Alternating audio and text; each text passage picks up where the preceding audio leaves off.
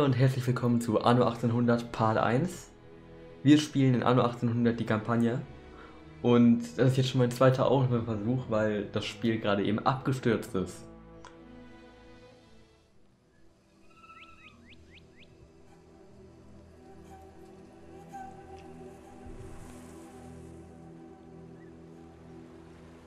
Seit dem Tag, an dem du mein Leben gerettet hast, dachte ich, ich kenne dich.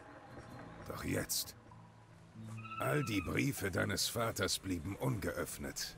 Aber ein paar Zeilen deiner Schwester ändern alles? Ich wusste nicht einmal, dass du eine Schwester hast. Wir sind pleite, altes Haus.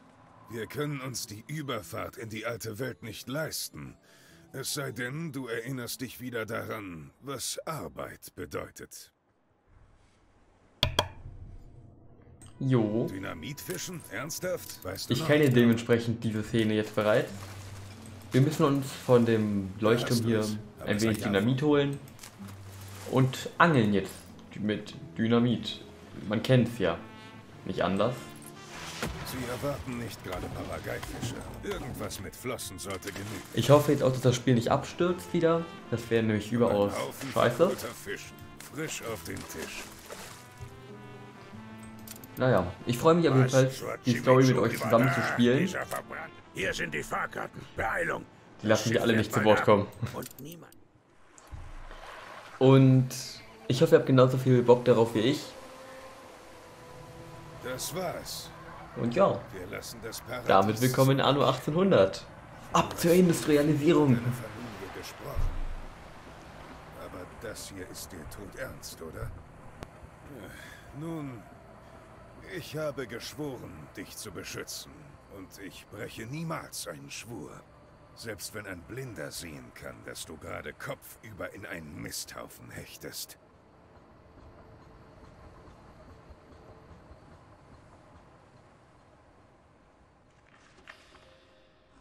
Ich habe nie irgendetwas von dir verlangt.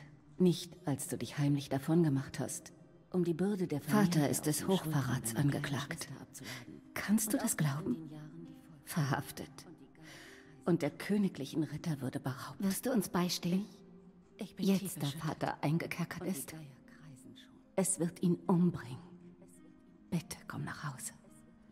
Wir brauchen dich.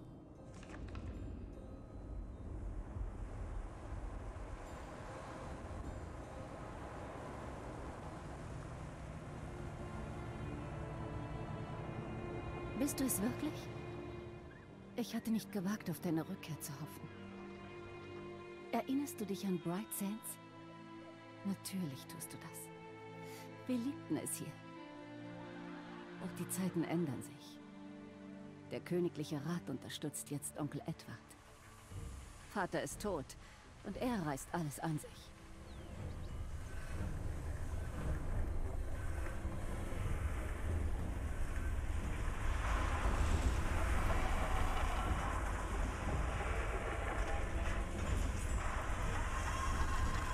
All diese Häuser.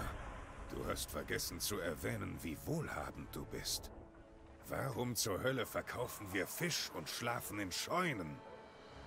Hast du deinem Freund nie von Good Sons erzählt? Es gäbe viel zu sagen. Aber jetzt beginnt Vaters Beisetzung.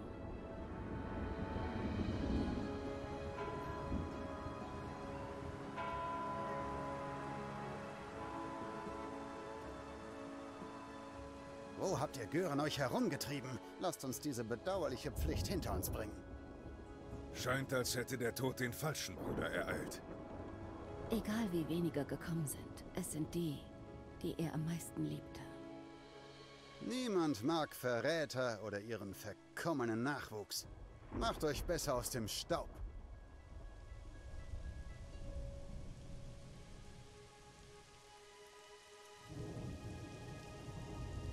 Das sollten wir.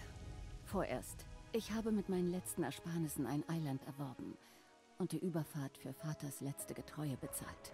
Gemeinsam werden wir seinen Namen reinwaschen. Oder bei dem Versuch sterben. Deine Schwester erinnert mich an dich. Das heißt dann wohl, dass uns neue Abenteuer erwarten, was? Da sind wir. Ditchwater. Das Ende der Welt. Ich hoffe, Sie mögen es ruhig.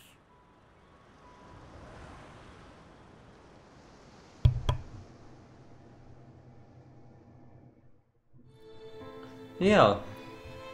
Und damit beginnt Kapitel 1 von Anno 1800. Und ich freue mich. Jo, ähm, die Was, du bist Story. immer noch hier? Versuchst du mir Konkurrenz zu machen auf diesem verwaisten Island? Fresse halten, Edward.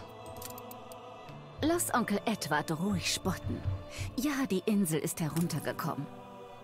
Wenn du Vaters geschärften Blick hast, siehst du auch, was hier alles möglich wäre. Wir müssen ein Zuhause schaffen für all die treuen Seelen, die noch zu uns stehen. Das kriegen wir hin, ne? Wir brauchen jede helfende Hand, wenn wir all den Schutt hier abtragen wollen. Auch da stimme ich zu. Was ich sagen wollte, die Story hat ein interessantes Setting. Und ich kann freue mich darauf, das zu erleben, weil die Story war für mich immer so der Hauptpunkt bei Anno. Bei den meisten ist es der Online-Modus oder bei den an anderen auch wieder der Endlos-Modus, aber ich bin der Typ, der die Story gerne mag. Ja, dann legen wir los. Unsere Aufgabe ist es erstmal einen Marktplatz zu bauen. Äh, nein, das wollte ich jetzt nicht. Da fällt mir ein, ich muss einmal kurz was in den Einstellungen gucken. Denn meine Maus geht immer in den anderen Monitor über und das ist überaus scheiße. Erstmal muss ich was ähm, gucken. Grafikkarte, bla bla bla bla bla.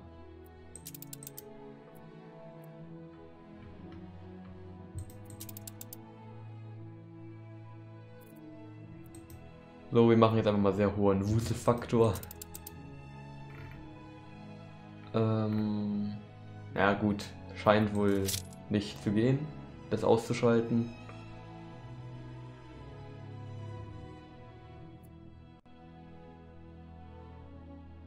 Nee, scheint wirklich nicht zu gehen, aber was ich machen muss, ist einmal was beim Rotieren der Gebäude einstellen. Gebäude nach links drehen. Circumflex.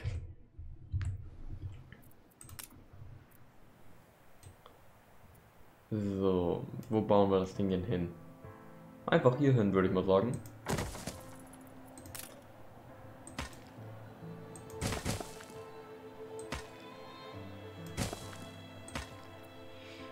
So. Bevor wir die... Oder... Ach, ich folge einfach jetzt erstmal stumpf der Story, welche uns sagt, dass wir Häuser bauen sollen. Sie haben ein neues Zwischenziel erreicht. Okay, die Story. Äh.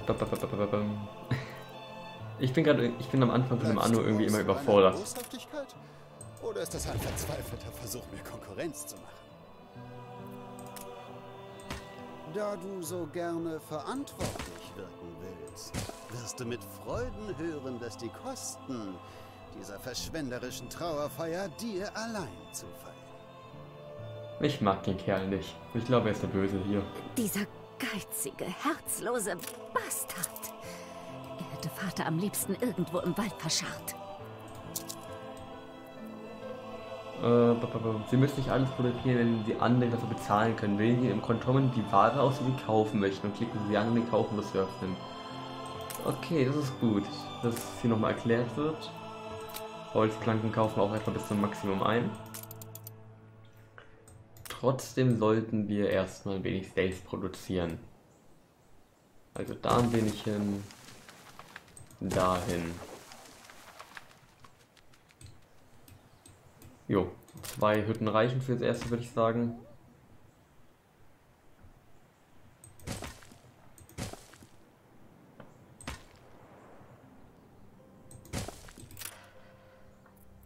Und dann brauchen wir natürlich auch noch Sägewerke. Dann nehmen wir zwei Weiter. Stück. Sehr gut. Ich werde versuchen, nicht an den Sarg zu denken. Jo, das könnte. Ja, das ist nicht so schön mit einem Sarg. Gibt schönere Umstände, kann man sagen.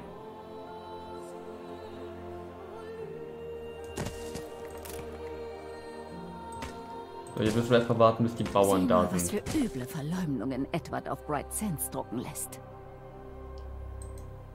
Ja, würde ich gerne sehen. Sie sind Samuels Erbe, oder? Gott sei Dank. Glauben Sie mir, ich bereue jedes einzelne Wort, das ich für Ihren Onkel drucken ließ. So, Edward der Retter. Herr Edward Gold spricht von einer goldenen neuen Ära für Golden Sand. Sonst, ich habe keine Ahnung, wie es ausgesprochen wird. Wobei er tapfer die Bürde trägt, die sein verräterischer Bruder vor seiner Tür abgeladen hat. Verräter stirbt mysteriös in Haft. Berichten zufolge konnte Samuel Gold die Demütigung eines Prozesses nicht ertragen. Nur wenige wohnten seiner Beerdigung bei, jedoch mehr als dieser Judas je verdient hätte. Affäre um Inselverkauf. Das Empire ist erschüttert wegen des Verkaufs der strategisch wichtigen Insel Prosperity. Wegen der strategisch wichtigen Insel Prosperity. Samuel Gold beschert den Jungkönigen äh, aufgrund seines Akts des Hochverrats die erste handfeste Krise. Wow.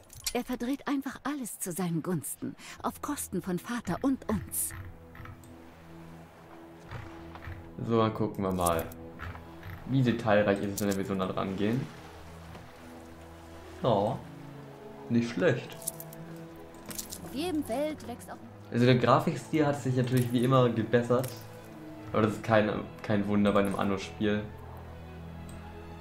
Die Grafik ist immer bombastisch gewesen.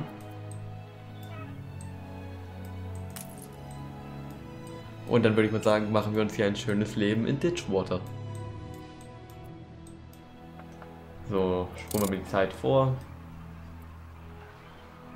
Damit hier diese blöden Bauern endlich a- ankommen. Los, macht hinne. Die Zuschauer warten. Hoffe ich zumindest. Wohnviertelruin entfernen. Vater hätte nicht gewollt, dass wir hier herumsitzen, während sich unser einziger Hoffnungsschimmer in einem solchen Zustand befindet. Lass uns alle Bewohner versammeln und sie bitten, diese Siedlung wieder instand zu setzen. Das können wir machen. Es lindert den Schmerz, je mehr Menschen um einen sind, nicht wahr? Das stimmt. Aber Es war ein langer, harter Tag. stimmt, fressen um brauchen die Viecher ja. Viecher, Typen ja auch. So, meine klassische drei Fischereien-Sektion. Ich weiß nicht warum, aber ich habe in jedem Anno am Anfang immer drei Fischereihütten. Einfach aus Prinzip. Selbst wenn es nicht nötig ist. Gut, dann bauen wir mal wieder ein paar Hütten. Für die schönen armen Leute hier.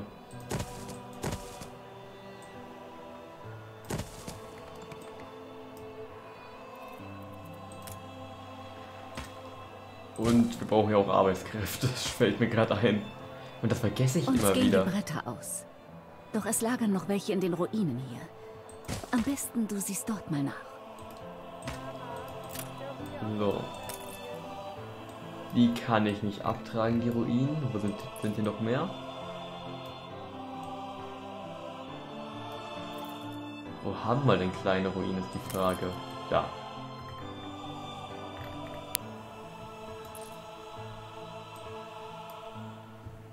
Jo. Falls es übrigens manchmal keine richtige Abmoderation gibt, liegt das daran, dass ich dann einfach irgendwo zwischendrin cutte, eventuell, je nachdem. Muss ich noch überlegen, wie ich das mache. Und als nächstes kommen wieder ein paar Bauernhäuser. Ich werde eine prächtige Stadt aufbauen. Und Steuern kassieren. Gebt mir euer Geld. Verstanden? Ich will euer Geld.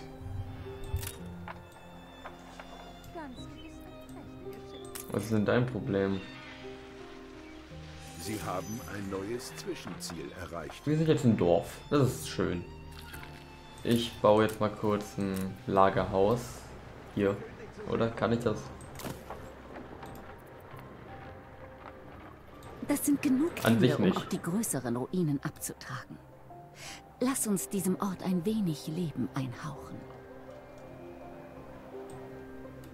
Ja, gut, dass ich hier, Alles, hier gerade eh ein Lagerhaus bauen wollte. War aus Holz. Wir brauchen mehr davon, um weiterzumachen. So, verwüstetes Kirchenviertel. Wo ist denn das Marktviertel? Ja, das ist es. Ruinen aus Holz. Unzufriedene Bevölkerung, das ist ein neuer Problem. Ja, die Unorte, gut. Ganz nett, trotz all der Taschendiebe. Dass man sich hier beklaut, ist kein ein Wunder. langer, harter Tag. Die Leute müssen sich ausruhen und vielleicht ein wenig ihre Kehlen befeuchten. Ja, könnte alles haben. Spielstand gespeichert. Ich erkenne dich gar nicht wieder. So. Wir hauen noch mal ein paar. Obwohl, nee. Wir warten noch einmal kurz auf das Wirtshaus.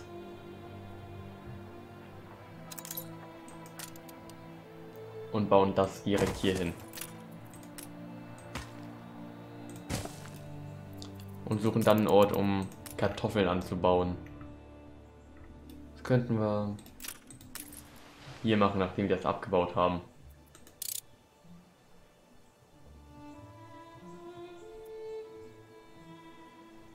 Ja, ja, ja, auf Kleidung. Ich kümmere mich drum, früher oder später. Und ich kümmere mich direkt um eine Feuerwehr. Ich habe daraus gelernt.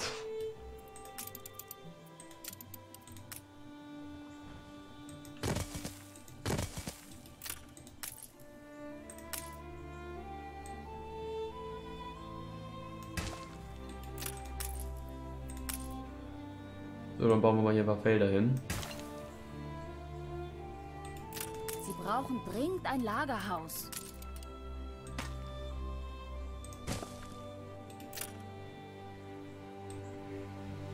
Okay, also für die auch nicht in Reichweite. Kann ich verstehen, dass ihr da meckert. So, Schnaps sage ich auch mal, dass ihr das einkaufen könnt. Was soll schon schief gehen, ne? Und des Weiteren werde ich noch ein paar Leute hier ansiedeln. So, wir wollen ja wie gesagt eine schöne große Stadt haben.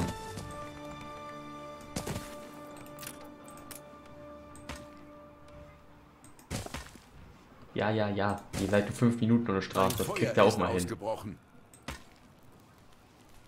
Und wie es aussieht, war es eine richtige Entscheidung, dass ich eine Feuerwehr gebaut habe. Das hätte ganz schnell schon enden können. Es wird zum Raub der Flammen. Bekämpfe diese Feuersbrunst. Ich mag den Kerl, der ist super. Du ehrst einen Unsterblichen. Die Beerdigung liegt schon eine Ewigkeit zurück. Aber die Kosten. Der Gedanke daran quält mich jeden Tag. Ja, ja, ja. Bereit, meine Wohltaten zu vergelten? Äh, Ja, ich gebe dir diese vier Tonnen. Leck mich. Zahle sofort deine Schulden. Oder verhöker, was immer du noch hast. Der Kerl regt mich so auf. Glaub bloß nicht, dass das alles war, du Rotzlöffel. So. Die Leute haben sich erholt und wollen weitermachen. Lass sie hier so viel Platz wie nur möglich schaffen. Kennen die schamlosen Forderungen unseres Onkels denn keine Grenzen? Naja, ich wollte, muss jetzt eher bald anbauen, von daher. Das kann ich auch hier machen. Hoffe ich zumindest.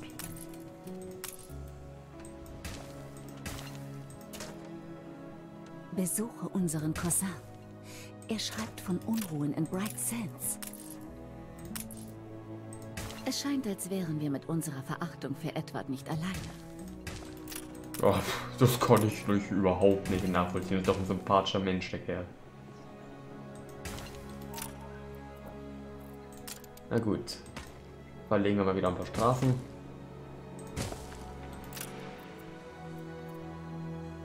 Ihr meckert auch? Mann, was ist euer Problem? Na gut. Hier. Jetzt muss Frieren üben.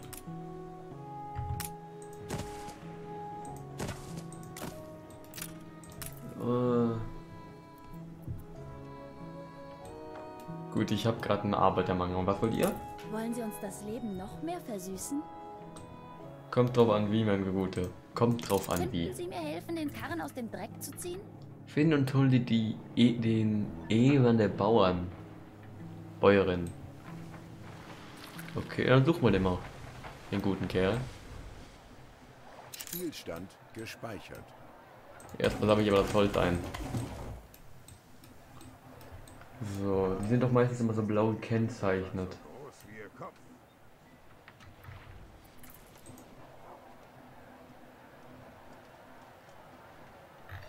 Heute war ich sogar schon vor den Vögeln. Okay, der ist halt nicht. Du willst heiraten? Nicht zu glauben. Ganz gewiss Okay. Wieso finde ich den Kerl nicht? Weil so groß ist meine Siedlung ja jetzt nicht, ne?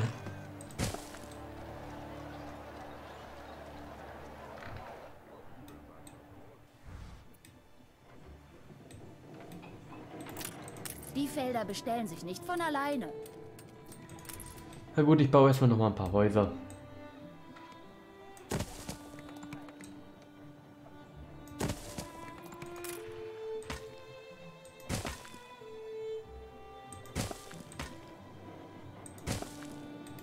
Muss ja genug Arbeitskräfte haben.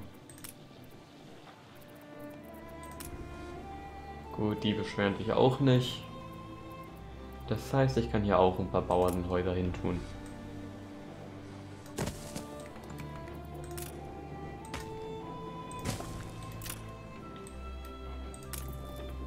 Und das Ding kann ich erstmal wegmachen.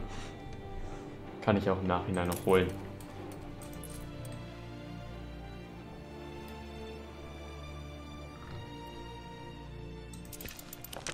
Der Bauern ist dafür bekannt, einfach zu verschwinden, sich sinnlos zu betrinken und dann auf der Straße zu schlafen.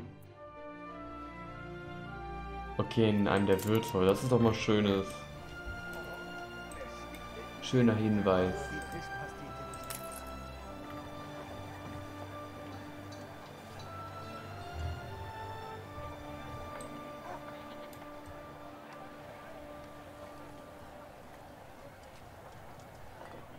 Hä? Tut mir leid. Tiefer gehe ich nicht. Mich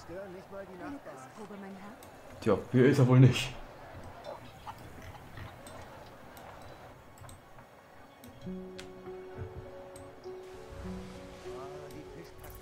Noch irgendwas Sinnvolles.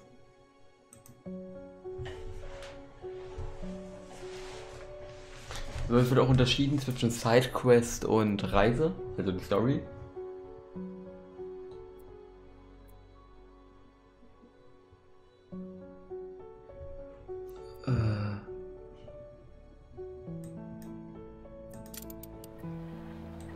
Schon, mein Guter.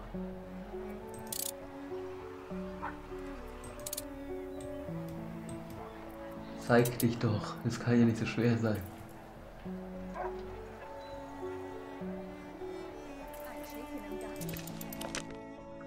Allen ihre Gesellen, sie können an den ungeforderten Ort. So, jetzt haben wir auch unsere Karte, das ist schön. Wir sind in Bright Sands. Aber erstmal will ich jetzt diese verkackten Typen finden. Eifrig wie eine dreibeinige Ziege. Äh, okay. Bootsfrau, okay. Sag mir, dass gut. du einmal etwas geschafft hast. Ach, halt doch die Fresse. Schwarzes Schaf, schwarzes Schaf. Hast du etwa Wolle? Ja, mein Herr, ja, mein Herr. Vier Säcke und zwar volle. Wenn ihr wollt, dass ihr den Typen umbringt, dann lasst doch mal eine Bewertung auf das Video da. Daumen runter heißt, wir lassen den Kerl leben. Bin gespannt, wie viele ihn leben lassen wollen. So, suchen Sie Ihren Cousin in der Umgebung von etwas größer Ausstellung. Hätte mich dein Vater nur gelassen. Wir hätten all das gemeinsam aufbauen können. Hm, wieso habe ich jetzt erst schon das Gefühl, dass der Kerl umgebracht, ihn umgebracht hat? Wir würden lieber sterben, als hier zu bleiben. Unsere Flaggen schwenken wir noch immer für Samuel. Edward kann uns mal. Tja, wir haben auch den Aufstand sehr schnell beendet. Finden Sie auf Edwards Insel aufständigen Mob. Nummer 2. Sind das, sind das zwei verschiedene Mobs? Ja, das gefällt mir. Macht mir die Arbeit einfacher.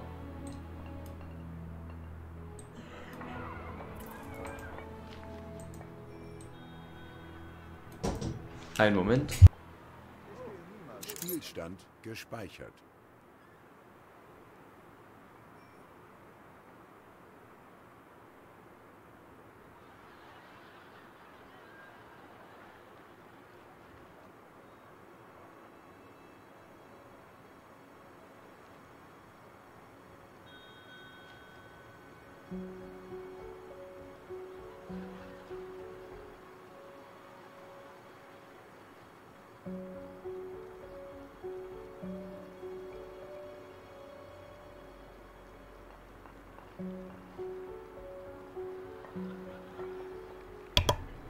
So, da bin ich wieder und ich habe gerade mal immer vorgeguckt, es ist für mich schon ziemlich spät.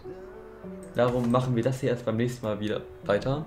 Ich hoffe, es hat euch gefallen, habt einen schönen Tag, haut rein, ciao.